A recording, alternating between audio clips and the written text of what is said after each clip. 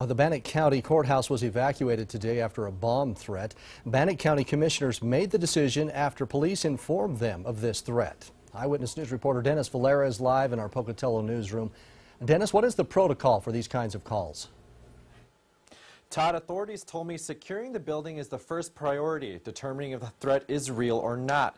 Now, the Sheriff's Office, court security personnel, and city police were all at the courthouse. The streets surrounding the courthouse were closed off, except for South 5th Avenue. Since the threat didn't mention a specific courthouse, both the juvenile and federal courts were evacuated as well. All three were cleared by noon. Investigators are now tracking the caller. This would be um,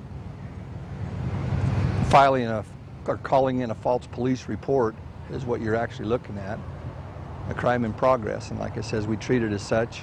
And the uh, problem you have is just tracking those down and um, through the sources, through the phone company.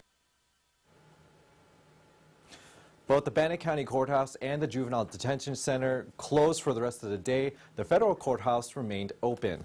Live in the Pocatello newsroom, I'm Dennis Valera. All right, thanks for the update, Dennis.